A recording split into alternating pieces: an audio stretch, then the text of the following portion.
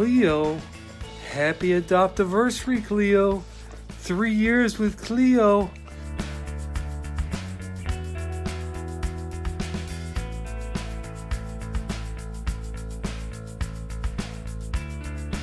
After I groomed my first shelter dog uh, and I just saw the transformation that happened, I just said, you know, I need to keep doing this. And now, uh, about 600 dogs later, over the last three years, I'm still doing it.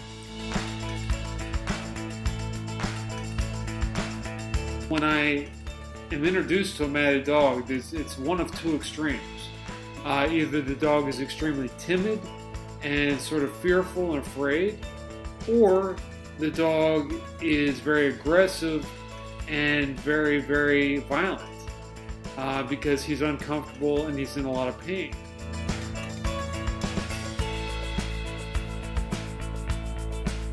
I then realized that there was a mat that was connected to a very uncomfortable spot on him. And once I got rid of that mat, he totally calmed down. So that was just amazing. Earlier, I groomed a dog who was super sweet the whole time through, although he was timid. And then afterwards, he was somewhat excitable and jumping around, so it was fabulous.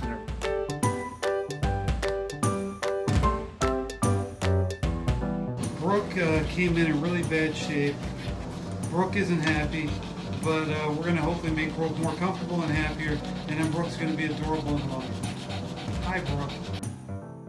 The grooming process for a matted dog is a little bit different than a normal gr uh, groom. For a matted dog, the the process is you sort of have to find an opening in the mat and get underneath it. Unfortunately, if you have to cut through the mat, you have to cut through it in a in a way that you don't cut into the animal.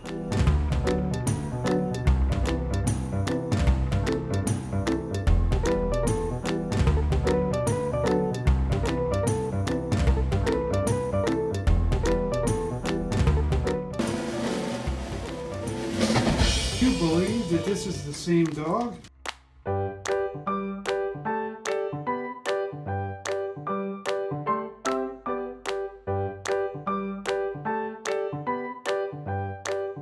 I think it's just important to help animals and to love them eh, because they give such love in return.